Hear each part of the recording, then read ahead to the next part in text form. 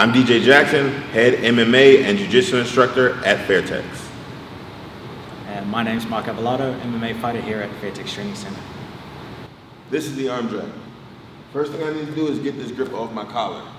So I'm gonna use the meaty part of my hand to hit him right in his wrist as I move my body back.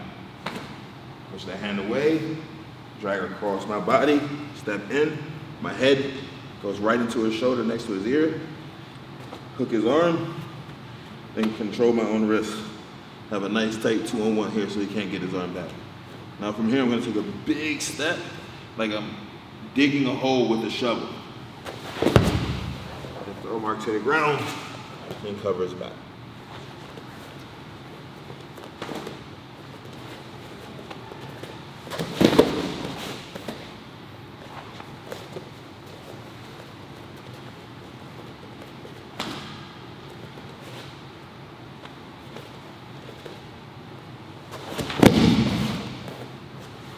Please like, comment, subscribe and share